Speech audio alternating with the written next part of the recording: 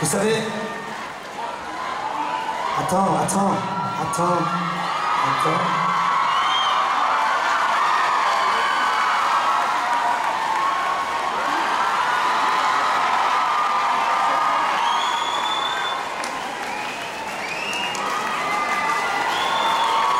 Idan. Alors je vois. Laissez-moi vous raconter. Attends, attends. Écoute, écoute, écoute. Écoute. Donc hier, on s'est rencontrés pour la première fois. Euh, on avait envie de faire peut-être quelque chose ensemble, mais on ne savait pas quoi faire. Parce que je suis arrivé chez lui en fin d'après-midi. On a eu un moment extraordinaire, à, tous les niveaux, de discussion, de partage, de... Enfin, c'était fantastique.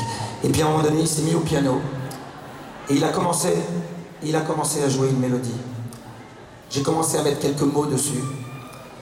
J'ai eu envie d'accompagner ce qu'il écrivait. C'est un texte qui a été écrit euh, entre hier soir et ce matin. Euh, c'est, très émouvant pour moi parce parce qu'il est évident que quand on est ici en Israël, la première chose qui nous vient à l'idée, c'est la paix. Et on a envie de, on a envie de la chanter, on a envie de l'exprimer, et surtout, surtout, on a envie d'y croire.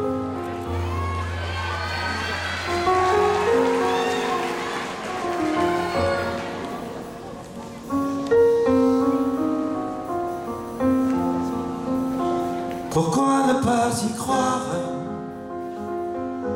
Pourquoi pas se le dire? Faire avancer l'histoire.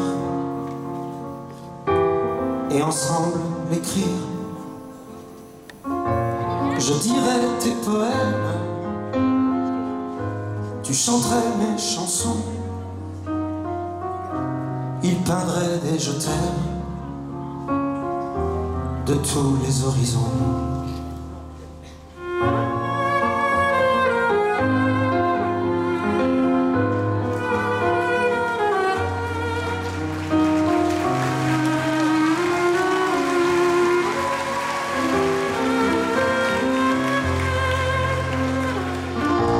La paix est une porte qu'on ouvre pour se connaître aimer l'histoire de l'autre, c'est comprendre la sienne. Je dirais tes poèmes, tu chanterais mes chansons, il peindrait des je t'aime de tous les horizons.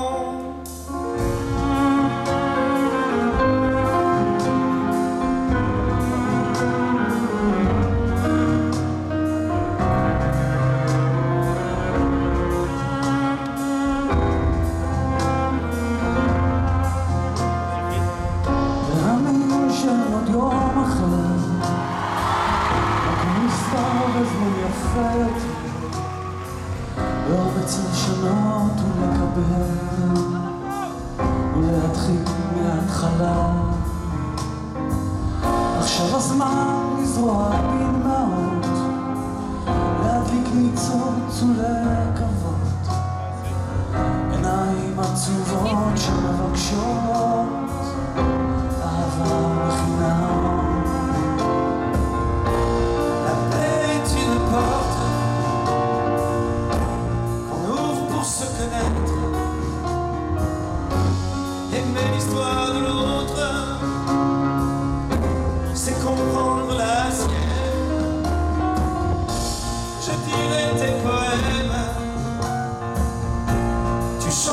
tu chanterais